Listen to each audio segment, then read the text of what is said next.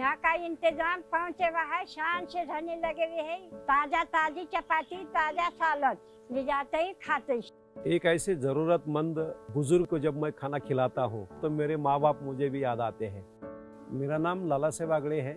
तृप्ति kitchen में जो खाना खाने के लिए बुज़ुर्ग महिलाएँ और पुरुष आती है, उनको कोई संभालने वाला नहीं है। किसी को दिखता नहीं है, किसी को चलने में तकलीफ़ है तो ऐसे बुज़ुर्ग को दो वक्त का खाना घर में पहुंचाते हैं। अगर उसको कुछ हेल्थ का प्रॉब्लम है तो उसके लिए भी हम दवाइयाँ देना या कैटरेक्ट का ऑपरेशन करना, बैसाखी देना, ऐसा भी हम उनके लिए काम करते हैं। तृप्ति किचन हमने 2016 में शुरू किया। आज की तारीख में हमारे पास 40 तृप्ति किचन है और उसमें करीब लगभग 500 लोग खाना खाते हैं। सुबह में हम चपाती देते हैं, फिर उसके साथ राइस होता है।